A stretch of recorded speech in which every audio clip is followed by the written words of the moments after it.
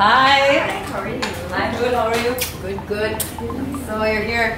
Yes. Ready. Are you ready to get into Edenrobe look? Of course I am. I'm Yeah. super excited also. So we ended up with this black and gold.